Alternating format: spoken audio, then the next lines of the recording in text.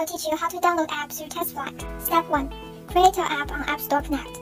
If you have already created your app, you can skip this step.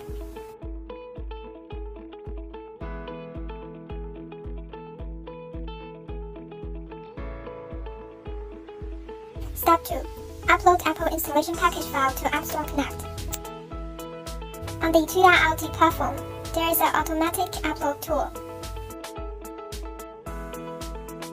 Enter your Apple account and this app-specific password to upload files to Apple TestFlight. Step 3. Authorize tester's Apple ID. According to the tutorial, we need to add the tester's Apple ID in the App Store Connect.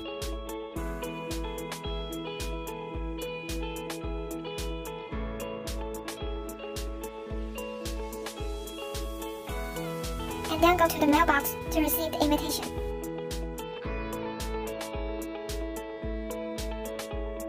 Step 4. Send TestFlight invitation code. After receiving the invitation, log into the App Store Connect with your Apple ID, and then click TestFlight to send yourself a TestFlight invitation.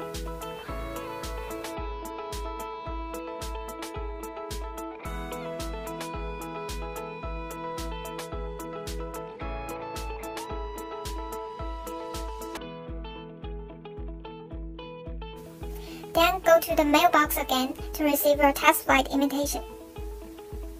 You can see the invitation code of TestFlight in the mailbox. Step 5. Download the app through TestFlight. Click Redeem in the upper right corner.